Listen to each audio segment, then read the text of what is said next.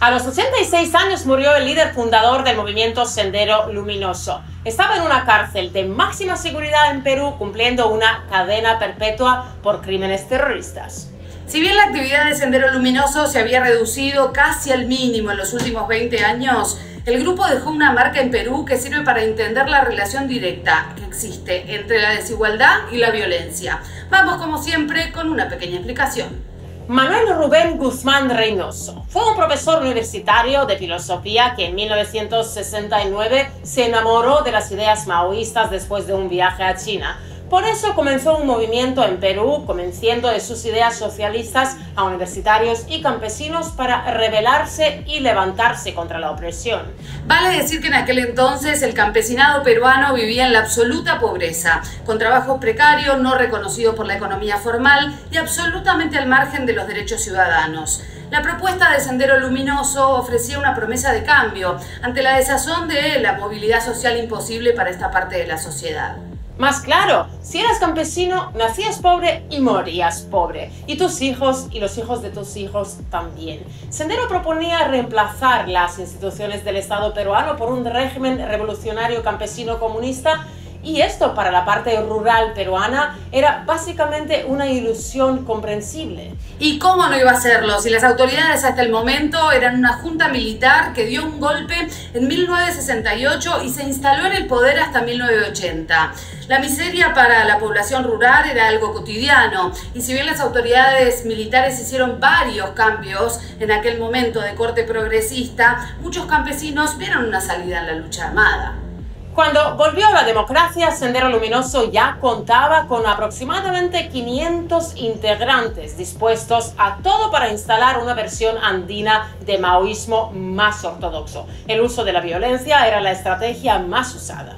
Pero el contexto histórico no acompañó. Perú buscaba reconstruir un régimen democrático mientras China se alejaba de los conceptos más duros del maoísmo. Sendero se quedaba sin referentes internacionales y se negaba a participar en los comicios quemaban urnas y cédulas electorales, asesinaban policías y masacraban campesinos opositores para buscar una reacción del gobierno. Pero todavía la mayor parte del país veía las acciones de Sendero como algo puramente rural y lejano.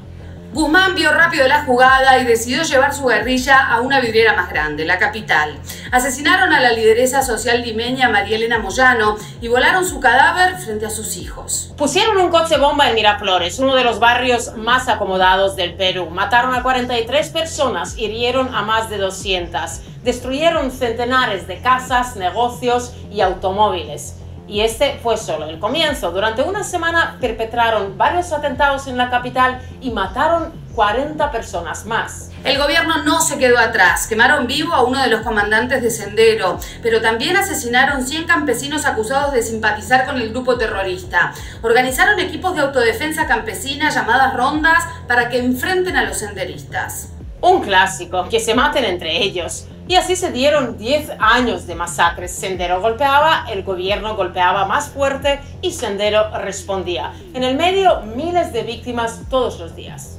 En 1991 el gobierno de Perú cambia la estrategia y entiende que Sendero seguirá creciendo mientras haya excluidos que puedan encontrar en ellos una opción para cambiar su situación. Y por eso cedió. Logró separar el reclamo de la acción armada. Redujo un 70% los trámites burocráticos para que los campesinos puedan acceder a la actividad económica. Reconoció cientos de propiedades rurales y legalizó más de 500.000 empleos. Además, firmó un convenio con Estados Unidos para reconocer que los cocaleros no eran por definición narcotraficantes y con esto detienen la persecución de los campesinos que producen coca. En 1992 finalmente detienen a Guzmán y muerto el perro, se acaba la rabia.